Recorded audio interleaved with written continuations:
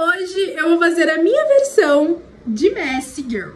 Já deixo avisado aqui pra vocês no começo desse vídeo que eu sou fã das Clean Girl, tá? Mas hoje eu vou abrir uma exceção pra gente ver como que eu fico de Messy Girl.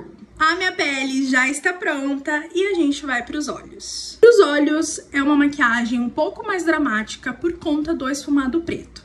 Porém, ela não exige tanto acabamento, tá? É um esfumado bem, assim, mal acabado mesmo. Vou começar aplicando esse lápis preto aqui da Ruby Rose, que é um lápis bem macio e que eu consigo esfumar depois. Aplico ele aqui na linha d'água e eu já vou dando, ó, uma sujadinha aqui, ó, mais pra fora, meio que rente aos cílios. Dou uma leve puxadinha. E aí, com o mesmo lápis, eu venho aqui, ó, na pálpebra, também rente aos cílios. Acompanhando. Ó. Parece que vai dar tudo errado, né?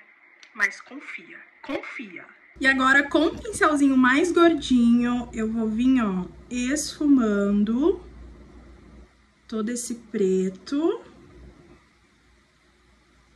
Em cima também.